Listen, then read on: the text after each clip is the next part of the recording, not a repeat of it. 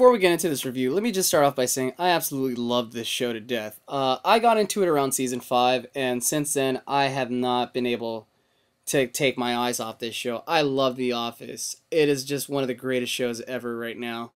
Hey everybody, so let's talk about The Office season eight premiere. It came on at nine on Thursday, and we got to find out a whole bunch of new stuff that should be coming up in this uh, upcoming season. Like for one, Pam is pregnant. Again. With a boy this time, though. Uh, what else? Angela's pregnant. With a gay senator baby.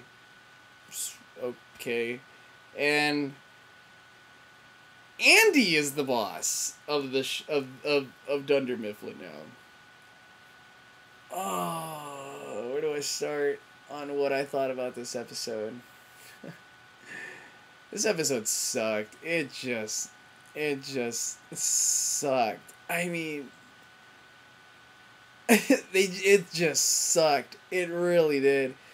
What the hell? A list? That's the best they could think of. Like, we have a season premiere. Oh, by the way, yeah, Spader's not the boss because Spader's character decided to talk to um what's her face's like character Jo, and he actually talked her out of being CEO so he can be CEO. So he took over um, Kathy Bates's job, and I'm just like, okay, that's that's that was kind of funny, I guess. Um, I don't know what else to say about it really. Just this show. Oh man, it just wasn't good it wasn't a good episode, but I hope this next this season's not gonna suck as much. Ah, so un- unenthusiastic about this. I I'm so sorry, but it's like honestly, I got nothing good to say about this. It was such a boring episode. What what is it like?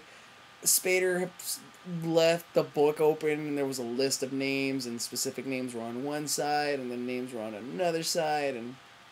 Eh like it, it just it was like such a filler episode. Here's the sadder thing.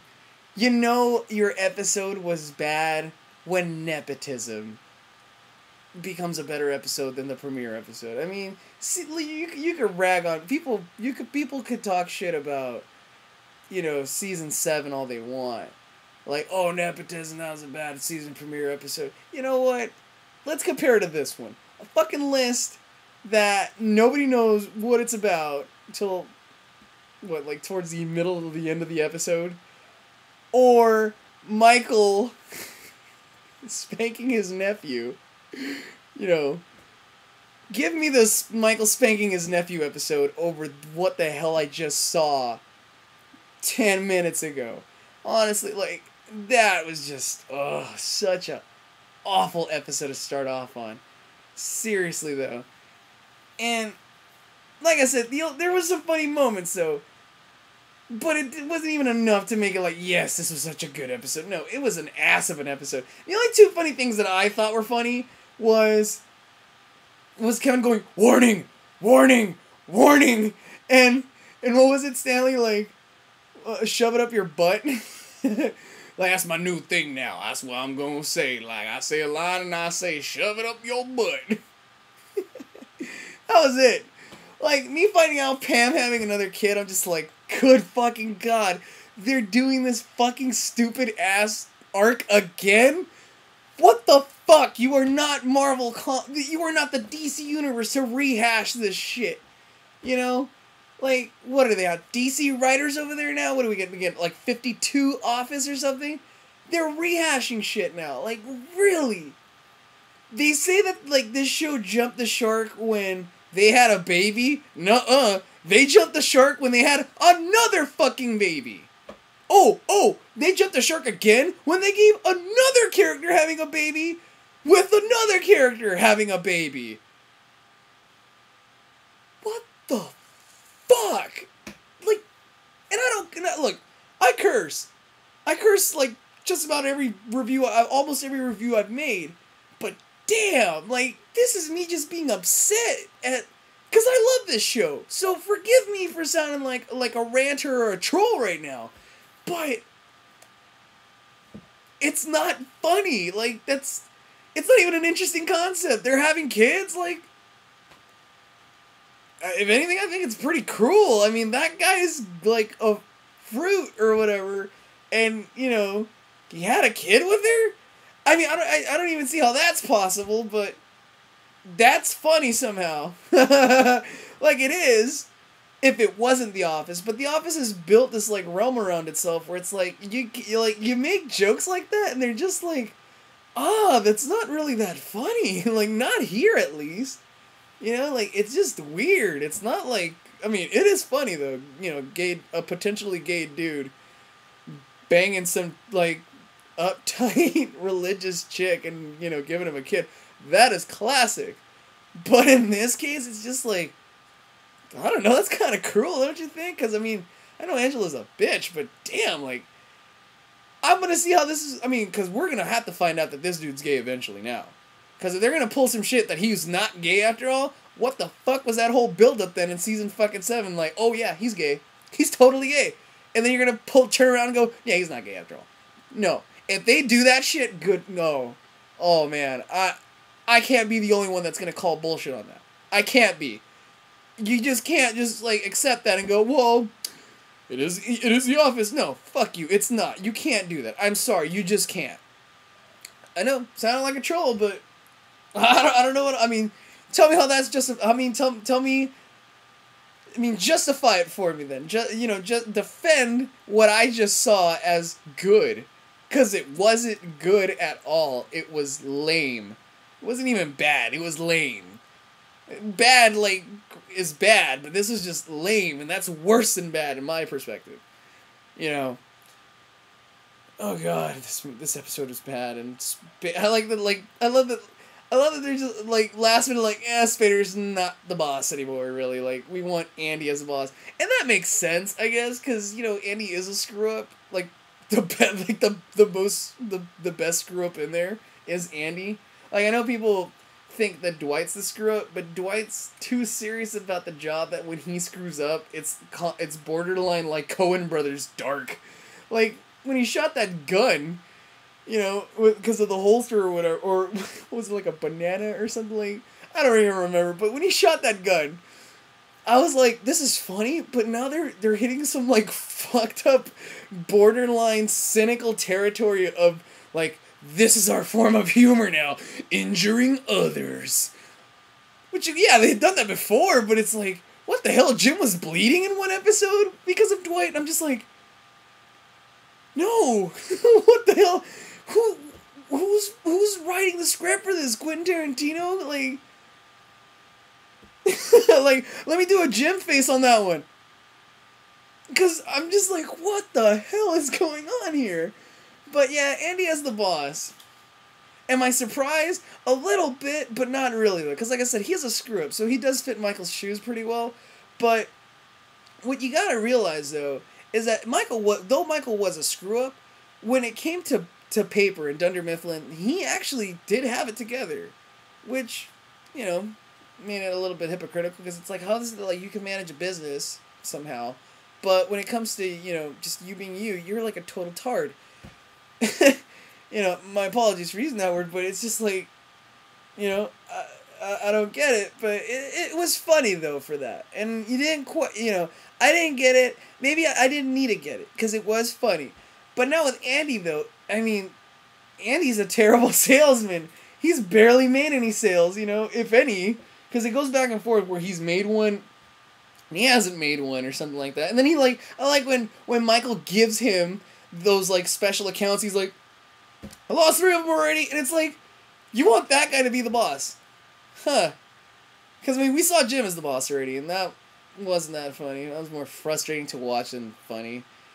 Dwight as the boss, we saw that already, and though that had potential, I love that they were just writing dark shit for Dwight to do. Like, yes, he's gonna kill somebody eventually. No, and it's like yes, and you know I would have wanted to see the as boss instead of Andy, Toby because maybe it's just me being cynical and me being biased to Toby because he is my favorite character on that show. But Toby as the boss would be funny on so many levels.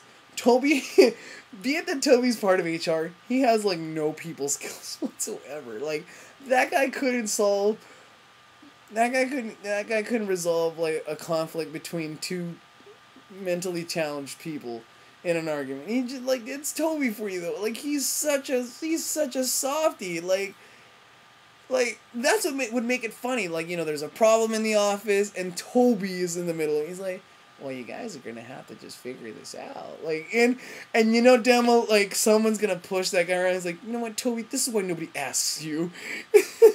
and that's just the way I see it. Like that's that's funny to me. Like whenever Michael gave Toby shit, that's like the funniest fucking thing to see. Like, Michael, did you call me? Yeah, I want to hit you in the face with a hammer. oh my god. See, that's funny. And I could see that for half a, for like I could see that for a good three seasons straight. Like poor Toby just like getting fucked over for everything. It's like, damn it, Toby, you forgot to sign the fucking paychecks or something. And then Toby's like, Well, I'm doing the best I can. That's funny! And I'm not a writer! Well, not a good one at least, but you, like I could write you an office episode, you know? Like Toby's the best. Like he would have been the best candidate to be the boss. Like just thinking about all the shit Toby could get into. I mean, we saw Creed as the boss. Classic. But that would have not lasted that long. Let, let's face it. I mean, uh, next to Toby, it's Toby for me, then Creed, then then Kevin, then Stanley, then um then Dwight, and then Meredith. Those are like my favorite characters. I borderline can care less for anybody else that I didn't add in there. Phyllis, uh, I'll add Phyllis on there, but yeah, everyone else is just like a meh, character. Gabe, uh, Kelly, Brian, Jim, and Pam. You know, oh no, I like Daryl too, so I'll put Daryl in that I like category, and everyone else can like I don't give a shit. But um, Daryl would have been a good candidate too, but really Andy though, I just don't see that. It's not that funny, and he wasn't really that funny in this episode. Like he was, I get that. Like I saw those Michael moments he was trying to do, but they don't work because Andy's like such an like. Oh, I went to Cornell, and that's funny, but like not as a boss though. It's like I'm gonna buy a margherita pizza, and they're like, "What's that?" That's you know, it, it's mozzarella. It's a dollop of mozzarella on top of pizza sauce. That sounds like regular pizza or whatever the fuck they're talking about. And then like, what was it? The follow up joke to that, like, oh, most of you classic pizza fans are gonna enjoy this. So basically, he got a regular cheese pizza. Not really that funny. You, you see it? Like, Michael would have done something far fucking more outlandish and it would have been more hilarious. Like, Toby resolving a situation like that, like, well, you know, I'm I'm doing the best I can. And that's where people get mad at fucking Toby because it's like Toby's such a pushover. They're like, you know what, Toby, you're not doing the best you can. And then yell at him or something, and that'd be fucking hilarious. Because, I mean, that's me, though. That's me. That that that's me on what I would do on that show. Bring it back. But um yeah, first episode is off to a bad start. Bad, bad, bad, bad start. I this is I didn't watch all of season 7. I I watched me up to the the the Toby and Michael talk. Like when they're sitting down, they have to hash out the 6 hours of of of like HR time or whatever the fuck. Um, yeah. I, I after that I was like, you know what? I'll wait till this shit comes out on DVD. Guess what? This this episode alone already motivated me to do that. Not gonna watch it from here on out. I, I don't care. I don't care if I miss something. Whatever. I it'll come out on DVD. I'll just watch it then. I'll get to enjoy it. Just you know, zipping through it. But yeah, this was just not a good episode, folks. It just was not. Die. I mean, I can't. I, and I've defended this show up until season seven. You know, I can't defend it right now because based on one episode alone, it sucked. And I'm just gonna leave it at that. I'm gonna let other people enjoy it, criticize it, whatever. I'll wait till it comes out on DVD, and then I'll give my own. Opi- I'll follow up an opi- opinion when that comes out. Um. Yeah, this wasn't that good though, and like let's let's look at it this way. This show, granted, people complain that oh, you know, they got serious after a while and they stopped being funny. Well, to be fair, characters grow. Characters grow and characters do develop. I mean, and and you might say, well, why are you complaining that ha- them having another kid is bad? Because they did it fucking once. They did this story once. What is the purpose to do a story like this again when that character, for example, Cece, is barely fucking seen? You know what that's hinting at is that like, hey, baby ratings, sort of good, a majority of time really kills a fucking show. Like a lot of fucking shows. Full House, for a fucking example. I mean, off the top of my head, think of any fucking show that had a baby in it. Where did it go after that? Chances are to the fucking gutter. To the fucking gutter because no one gives a fuck about people having a baby on a show. No, people can barely fucking stand it when people get together on fucking shows because oh it destroys things. It makes the show not so funny now because there's conflict and there's romance and people don't want that shit apparently. I go by what people tell me. I go by what people have been telling me from day fucking one. I'm going by what people have been putting on message boards what people have been putting troll uh, what people have been trolling on so much about. They hate when jim and pam got together. I could care fucking less. That to me is character development. That's fine with me. Them having a baby that's fine with me. Them having another one though what the fuck? Stop it. Stop having kids. It's not cool anymore. You did it once. We get it. You guys have sex. We could clearly fucking imagine that with with you guys be, being together already. And then to have Angela have a baby too. Who the hell initiated that? I want to know who initiated that being funny. Like that was gonna be a cool arc. Yeah, Angela has a baby along with Pam. What? No. That's not funny. That that's that's that's just regular people stuff. You telling me like Angela found out like you know what would have been funnier if Angela still is oblivious to this dude being a fruit. That would be funny. Keep that going. And then, you know, have her fall back into Dwight's fucking bullshit punch hole card thing. You know, because they did this last time too with season fucking 6. Um or yeah, it was season six, I believe, where it was what was it that like Dwight was doing this whole thing against Jim, and he had Ryan involved, and they never followed up on it. Like nothing. It follows up to nothing. Kelly's fucking thing followed up to nothing. She she goes to the fucking what print all colors program, and she comes back and it's like, that was cool for like two episodes and we dropped that too. They do this all the fucking time, and they did this too when when Dwight I don't know, or bought the fucking building? God. And they don't bring watch five bucks. They don't even bring that up anymore in this season. That like, oh yeah, Dwight owns the building. We forgot about that. Let's bring that up for one episode. Chances are they won't even bring it up for one episode. They'll forget about it.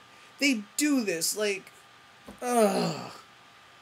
Since season five, they've been doing shit. No, since after no, since season six, since the beginning of season six, like shit just, they've just done shit like this.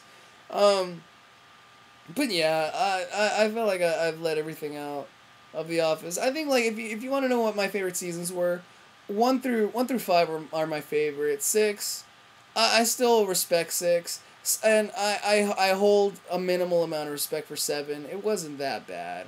Like people are like, oh, seven was terrible. It was it was that's not The Office anymore. It still is The Office, but you know not really that much anymore because you do have Michael potentially you know leaving, but it it's it's still there. Like I, the elements are still there. There's some funny episodes in there, but this one though, I don't know. I don't know what to expect. I don't expect anything good anymore out of the show. But hope you know what. I want to be proven wrong because I I want to still like this show. Uh, on a serious note, like I, I I love being proven wrong on on negative assumptions on stuff that I've seen because like I said, I I don't want to hate things. I want to enjoy things. You know, as a critic, I mean speaking on my own behalf, as a critic, I want to enjoy what I watch and what I see. If it sucks, and yeah, I got to let you guys know that it sucks.